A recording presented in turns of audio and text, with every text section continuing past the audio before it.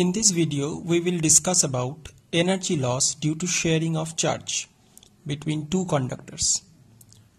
Please see my last video on sharing of charges between two conductors to understand the topic clearly. We have two conductors of different capacity and different potential and charges and if V1 greater than V2 then charges will flow from the first to the second that is from left to right. Finally, they will, they will acquire a common potential V and we all know V will be C1 V1 plus C2 V2 divided by C1 plus C2. Now, before joining, total energy of the system is half C1 V1 square plus half C2 V2 square.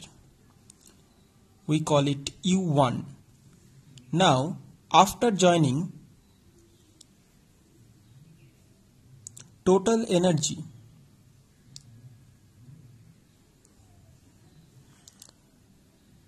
will be U2 equals to half C1 V square plus half C2 V square where V is the common potential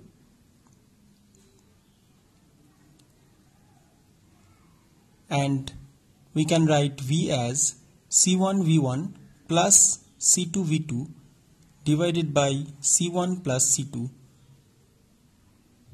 To prove this thing we have to see my last video.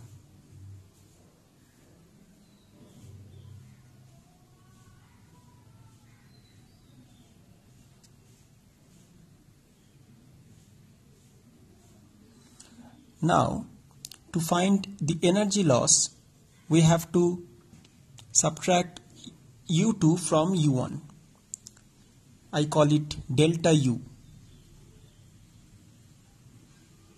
Putting the values.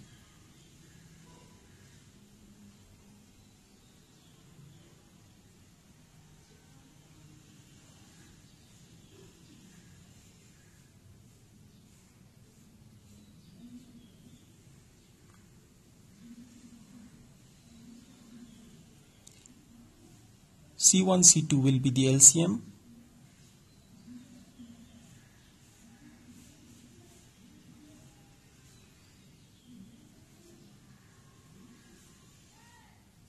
Look at the calculation very carefully.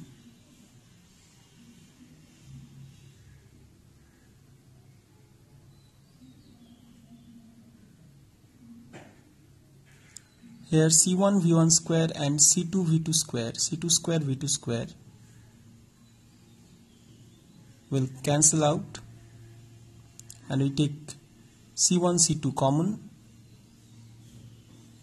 Finally we'll have